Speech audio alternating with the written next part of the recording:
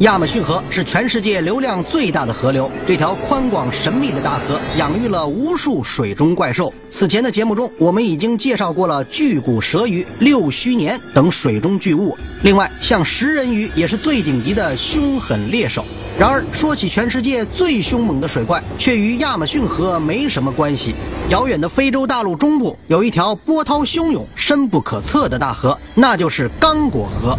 它的流量仅次于亚马逊河，排在世界第二。河水最深处甚至超过了两百米。在这条神秘的大河中，潜伏着全世界最可怕的淡水鱼。它拥有巨骨舌鱼般的庞大身躯，食人鱼一样锋利的牙齿，以及六须年那难以匹敌的力量。它的名字就叫做黄金猛鱼。在刚果河流域的村庄中。黄金猛鱼是一个可怕的传说，有关它袭击人类的故事屡见不鲜，也难怪它的样子实在过于彪悍，体长可超过一点五米，体重可超过一百斤，一嘴如利刀般骇人的大牙，已经不能用霸气两个字来形容了，这简直就是残暴。虽然它们的嘴巴并不大，但是由于上下颚同时具备开合的关节，使它们可以最大限度地张开嘴巴，用巨大的力量去撕咬猎物。与南美亚马逊河的食人鱼一样，黄金猛鱼也是成群捕猎。而如果把一群食人鱼形容为水中群狼的话，那成群的黄金猛鱼简直就是一个霸王龙连队。因为食人鱼最多只能欺负老弱病残，打扫打扫尸体。对于一些大个头，他们也没什么办法。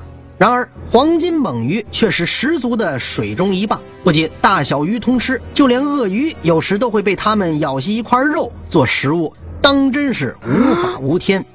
想要凭借普通渔具钓获黄金猛鱼是非常困难的。通常情况下，你只能收获被撕碎的鱼饵。却看不到黄金猛鱼的影子。当然了，如果你幸运的让这个大家伙咬上了鱼钩，也不能高兴的太早。如果你没有足够的力量和体能与之较量，最后谁把谁吃了还不一定呢。像河中巨怪的主持人杰罗米·韦德已经是钓鱼领域高手中的高手，但在挑战黄金猛鱼时还是屡遭挫败。据生物学家研究，黄金猛鱼的体内有一个气囊，它就像鼓一样，会对震动发生反应。当有猎物靠近时，这个敏感的器官就会发出信号，让猛鱼可以迅速出击，围攻猎物。另外，许多猛鱼攻击人类的传说都会与一类物品产生联系，那就是发亮的物体。讲述者往往表示，被攻击的人很多都佩戴着亮闪闪的事物。虽然没有确凿的证据表明猛鱼会对亮闪闪的物体产生特别的兴趣，但这至少给想见它的朋友们提了个醒：与黄金猛鱼打交道前，最好把什么金银细软先都收起来。跟他面前炫富，轻则少块肉，重则一命呜呼。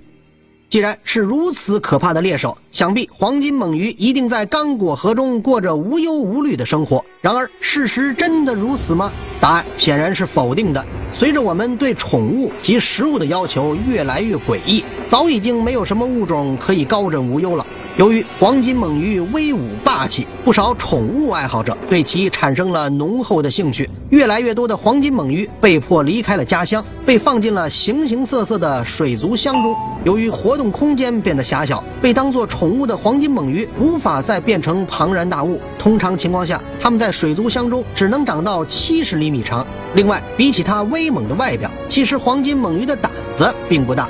如果把它们与龙鱼混养，反而常常成为受欺负的一方。很显然，水族箱中的猛鱼并不开心。另外，黄金猛鱼在宠物市场受到热捧，也带来了隐忧。毕竟，它们是食物链中的顶端猎食者，一旦有主人弃养，重回野外的黄金猛鱼恐怕就会恢复猎手的本色。以它们恐怖的攻击力，恐怕少有土著鱼类可以抵挡它们的攻击。万一再因为水土的改变造成什么基因突变，没准什么天池水怪的尼斯湖水怪的传说也就离现实不远了。己所不欲，勿施于人。古人沉淀的智慧，如今在各种欲望与诱惑面前变得一文不值。我们想把黄金猛鱼变成水族箱中的困兽，就得做好心理准备，因为猛兽总有出笼的一天。